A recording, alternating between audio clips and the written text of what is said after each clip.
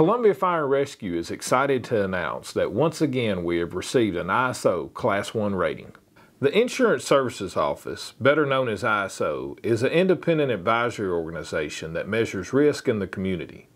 Homeowners and business owners in the City of Columbia will continue to see lower insurance rates with this Class 1 rating. ISO evaluates over 45,000 fire departments across the nation on their capabilities.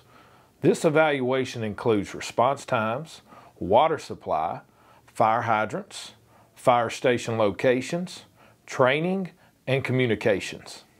There's no better designation to uh, recognize the professionalism, the staffing levels, and the commitment to excellence to our fire department than receiving this designation by ISO. And it's efforts such as these is why our Fire Chief, Ty Cobb, was recently recognized by his peers as the Fire Chief of the Year in the state of Tennessee. But the real winners from this designation is the City of Columbia. Columbia property residents will be paying less in insurance premium because of this premier designation that we have through the ISO. So on behalf of the Columbia City Council, we want to congratulate and recognize Chief Cobb, our fire department, and the Columbia community as a whole for this outstanding recognition. This Class 1 rating is the gold standard for fire departments nationwide.